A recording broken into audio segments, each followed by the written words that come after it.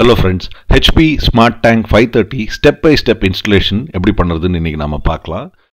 இது ஒரு wifi printer கூட ஆட்டோமேட்டிக் டாக்குமெண்ட் ஃபீடர் இருக்குது ஸோ ஒரு ஃபார் எக்ஸாம்பிள் ஒரு அஞ்சு பேப்பர் இருக்குது அதை ஸ்கேன் பண்ணி காப்பி எடுக்கணும் அப்படின்னா நீங்கள் அதை மேலே ப்ளேஸ் பண்ணிட்டா போகிறோம் ஆட்டோமேட்டிக்காக ஒரு ஒரு ஷீட்டாக எடுத்து அதுவே ஸ்கேன் பண்ணி பிரிண்ட் பண்ணிடும். ஹெச்பி ஃபைவ் ஹண்ட்ரட் சீரிஸ் உடைய விலை வந்து பன்னெண்டாயிரத்துலேருந்து பத்தொம்போதாயிரம் ரூபாய். இது டேங்க் கெப்பாசிட்டியை பொறுத்து இந்த மாடலுடைய விலை வந்து பத்தொம்போதாயிரத்தி ஐநூறுரூபா இது அன்பாக்ஸ் பண்ணி பார்த்தா அந்த ஸ்மார்ட் டேங்க்குக்கு கலர் இங்க்ஸ் அவங்களே கொடுத்துட்றாங்க. பிளாக் ஒரு பாட்டில் தான் நம்ம இனிஷியலாக யூஸ் பண்ணுவோம். இந்த கலர் இங்கெல்லாம் எப்படி ஃபில் பண்ணுறதுன்றதும் இந்த வீடியோவில் இருக்குது அடுத்து பார்த்தீங்கன்னா பாக்ஸில் பவர் கேபிள் இருக்குது கூடவே யூஎஸ்பி கேபிளும் கொடுத்துருக்காங்க. இது வைஃபை பிரிண்டர் தான். இது அடிஷ்னலாக கொடுத்துருக்காங்க ஒயர்ட் பிரிண்டிங்க்கு பிரிண்டர் ஹெட்ஸும் கொடுத்துருக்காங்க. இது எப்படி இன்ஸ்டால் பண்ணுறதுன்றதை பார்க்கலாம். இந்த பிரிண்டர் ரொம்ப ஹெவிலாம் இல்லை. கொஞ்சம் கம்ஃபர்டபுளாக தான் இருக்குது ஹேண்டில் பண்ணுறது இது கூட ஒரு யூசர் மேனுவல் ஸ்டார்ட் அப் கைடும் கொடுத்துருக்காங்க. அதை வச்சு தான் நாம் இதை இன்ஸ்டால் பண்ண போகிறோம் ஃபஸ்ட்டு இந்த தெர்மோகோல் பேக்கிங் அப்புறம் இந்த டேப்ஸ் எல்லாம் எடுத்துடலாம். HP smart tank five hundred சீரீஸில் இந்த இங்க் டேங்க் கெப்பாசிட்டியை பொறுத்து இந்த விலை மாறும்னு ஏற்கனவே சொல்லியிருந்தேன். இந்த பர்டிகுலர் மாடலில் பார்த்தீங்கன்னா பதினெட்டாயிரம் black and white printouts எட்டாயிரம் கலர் பிரிண்ட் அவுட்ஸ் எடுக்க முடியும். அதுக்கப்புறம் நீங்கள் இந்த இங்க் டேங்க்ஸை நீங்கள் ரீஃபில் பண்ண வேண்டியிருக்கும். இப்போ நம்ம பவர் கேபிள் அண்ட் யூஎஸ்பி கேபிளை ஃபிட் பண்ணிடலாம் ஃபஸ்ட் நான் பவர் கேபிளை வந்து கனெக்ட் பண்ணிடுறேன் இது ஒய்ஃபை பிரிண்டர் அப்படிங்கிறதுனால இந்த ஒயர்ட் கனெக்ஷன் தேவையில்லை பட் நம்ம இந்த யூஎஸ்பி கேபிள் எங்கேயா தொலைச்சிருவோம். அதனால் நான் ஜென்ரலாக ஃபிட் பண்ணிவிடுவேன் எமர்ஜென்சிஸ்க்கும் நமக்கு ஹெல்ப் பண்ணும் அது.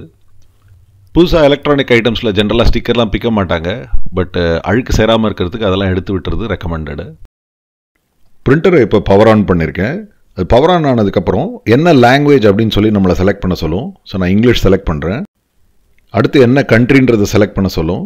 ஸோ இந்தியா செலக்ட் பண்ண போகிறேன் அடுத்து கரண்ட் டேட் டைம் என்டர் பண்ண சொல்லும். அடுத்த இன்ஸ்ட்ரக்ஷன் பார்த்தீங்கன்னா இங்க் டேங்க்ஸை ஃபில் பண்ண சொல்லுது. இப்போ ஃப்ரண்ட் கவரை ரிமூவ் பண்ணால் cyan magenta yellow black ink tanks இங்கே தான் இருக்குது இதை தான் நம்ம ஃபில் பண்ணோம். மேலே இந்த லிட்டை இப்படி ஓப்பன் பண்ணால் நம்ம இங்க் ஃபில் பண்ணலாம்.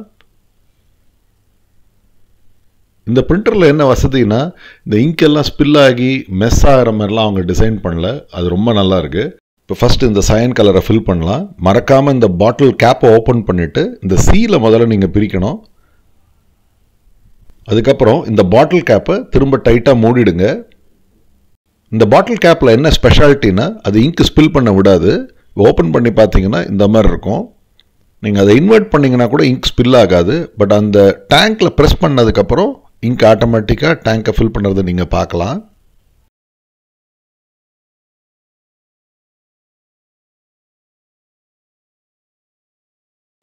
இங்க் டேங்க் ஃபுல்லானதுக்கப்புறம் இந்த பாட்டிலை நாம் எடுத்துடலாம்.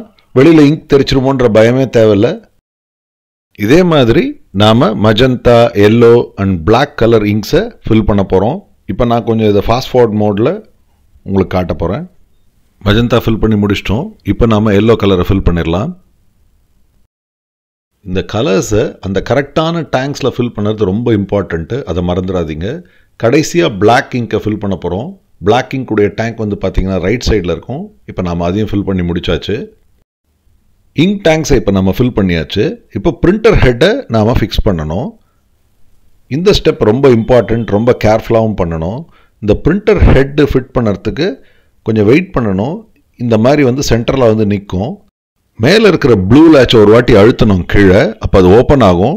அடுத்து இந்த ஆரஞ்சு பிளாஸ்டிக்கை கிளாக் வைஸ் டேர்ன் பண்ணி வெளில எடுத்துடலாம். அது நமக்கு தேவையே இல்லை. அது சும்மா ஒரு ப்ரொடெக்ஷன் பீஸ் தான் அது. இந்த ப்ளூ லேட்சை ஒரு வாட்டி பார்த்துக்கோங்க. இது அன்லாக் பொசிஷனில் இந்த மாதிரி இருக்கணும். இப்போ நாம் பிரிண்டர் ஹெட்டை இன்ஸ்டால் பண்ணலாம். இந்த பாக்ஸ் பேக்கிங்லேயே பார்த்தீங்கன்னா ரெண்டு பிரிண்டர் ஹெட் கொடுத்துருப்பாங்க. ஒன்று பிளாக் கலருக்கு இன்னொன்று மிச்ச கலர்ஸ்க்கு முதல்ல பிளாக் கலர் பிரிண்டர் ஹெட்டை இன்ஸ்டால் பண்ண போகிறேன் ஆரஞ்சு கலர் பிளாஸ்டிக் மேலே இருக்கிறத எடுத்துடலாம். அது நமக்கு தேவையே இல்லை. அடுத்தது பார்த்தீங்கன்னா இந்த பிரிண்டர் ஹெட்டை ப்ரொடெக்ட் பண்ணுற டேப் ஒன்று இருக்கும் அதையும் நாம் எடுத்துடலாம். இந்த கனெக்டிங் பாயிண்ட்ஸ் இருக்கிற சைட் தான் உள்ளே போனோம் அது ஞாபகம் வச்சுக்கோங்க. பிளாக் பிரிண்டர் ஹெட்டை முதல்ல இப்போ ஃபிட் பண்ணுறேன் அடுத்து கலர் பிரிண்டர் ஹெட்டை நாம் ஃபிட் பண்ணலாம். இது மேலே பார்த்தீங்கன்னா பெரிய ஆரஞ்சு கேப் இருக்கும். அந்த ஆரஞ்சு பீஸ் நமக்கு தேவையில்லை அதை எடுத்து டிஸ்போஸ் பண்ணிடலாம் நீங்கள் இதில் பார்த்தீங்கன்னா மூணு இங்க்குக்கு மூணு போர்ட் மாதிரி மேலே இருக்கும். இந்த டே ப்ரொடெக்ஷன் டேப்பையும் எடுத்துருங்க. இப்போ கலர் பிரிண்டர் ஹெட்டையும் நாம் ஃபிட் பண்ணிட்டோம். மேலே ப்ளூ கலர் லேட்சை திரும்ப லாக் பண்ணிவிடுங்க இப்போ நாம் பிரிண்டர் ஹெட்டை இன்ஸ்டால் பண்ணி முடிச்சாச்சு. பிரிண்டர் ஹெட்டை இன்ஸ்டால் பண்ணதுக்கப்புறம் அது ஸ்மூத்தாக மூவ் ஆகுதான்னு பாருங்கள் அப்புறம் பிரிண்டருடைய ரெண்டு கவரையும் நீங்கள் க்ளோஸ் பண்ணிடலாம்.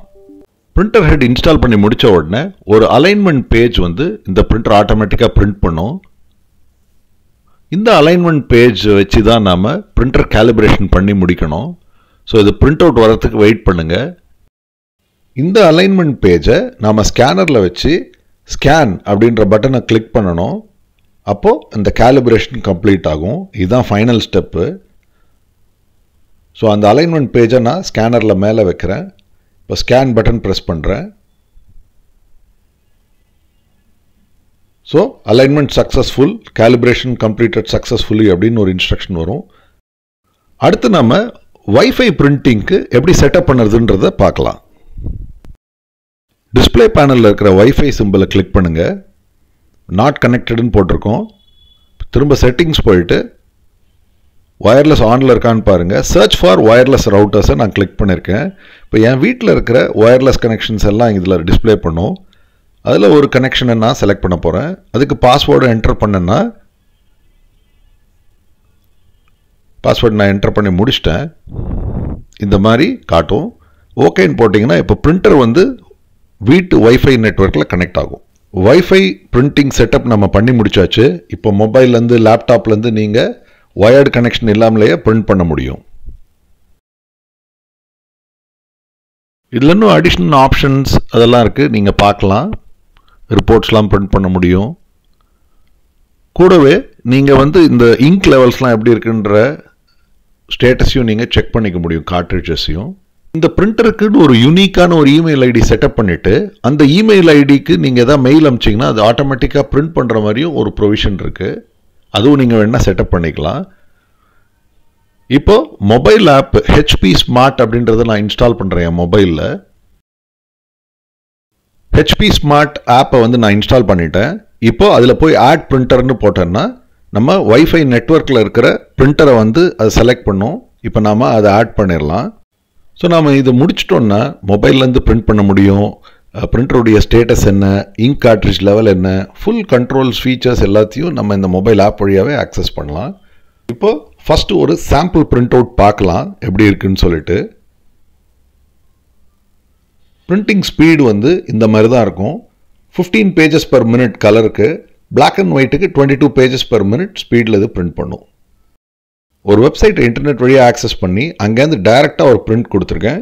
அந்த பிரிண்ட் அவுட் தான் நீங்கள் இப்போ பார்க்குறீங்க ரொம்ப நல்லாயிருக்கு குவாலிட்டி இதுவே நீங்கள் ஒரு எக்ஸிக்யூட்டிவ் பாண்ட் பேப்பர் ஃபோட்டோ பேப்பர்லலாம் பிரிண்ட் பண்ணிங்கன்னா இன்னும் ஹையர் குவாலிட்டி வரும். உங்களுக்கு இந்த இன்ஸ்டலேஷன் கைடு ரொம்ப யூஸ்ஃபுல்லாக இருக்கும்னு நான் நம்புகிறேன் மறக்காமல் என்னோட சேனலுக்கு சப்ஸ்கிரைப் பண்ணுங்கள் நன்றி வணக்கம்.